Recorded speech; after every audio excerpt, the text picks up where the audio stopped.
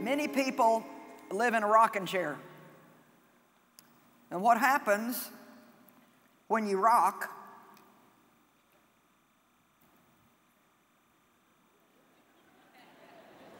Is you stay real busy, putting out constant effort, but you're going nowhere.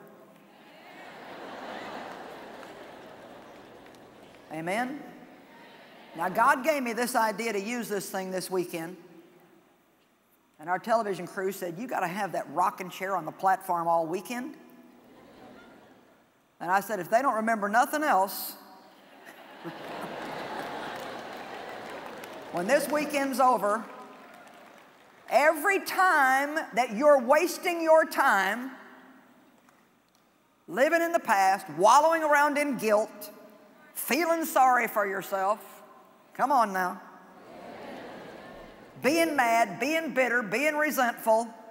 I want you to remember this message, and I want the Holy Ghost to say to you, get out of the rocking chair.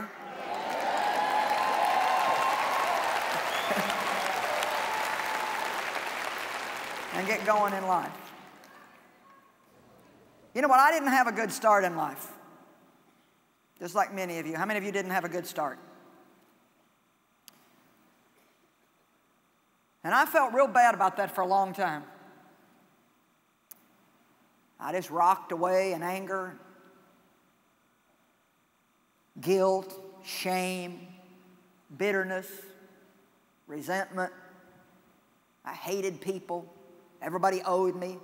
I had a chip on my shoulder. I was busy.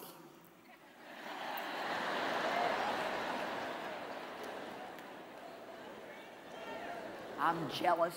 I'm mad. I feel bad.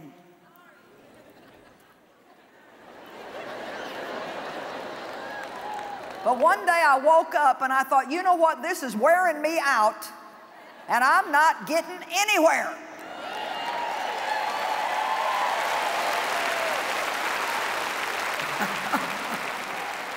So I decided that even though I did not have a good beginning, I made a decision that I was going to let go of what lies behind and I was going to have a great finish.